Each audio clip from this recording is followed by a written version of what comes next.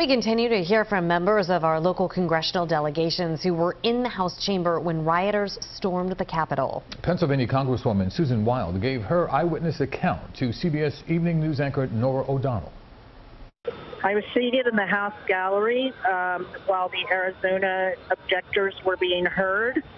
Uh, as a member of the Pennsylvania delegation, we were scheduled to have our objections and responses heard next. I was planning to speak during that, so I was just up in the gallery waiting.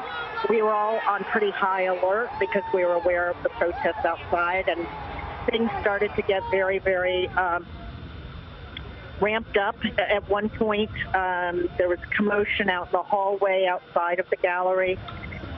And the Capitol Police came in and started locking us in, barricading the doors.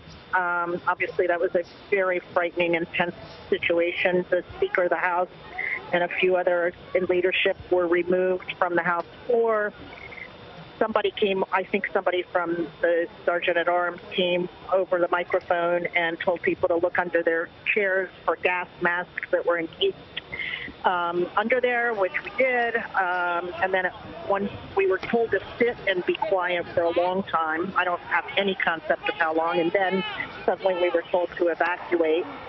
And because of where I was in the gallery, we could only evacuate through one door, which was clear on the other side of the house floor. Um, and so I and about 15 or 20 other members were among the last. And then all of a sudden, they wouldn't let us evacuate anymore. They they barricaded the doors and said there was there were intruders again in the hallway.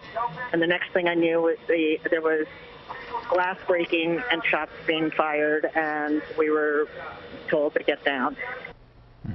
Frightening, intense, and unbelievable day.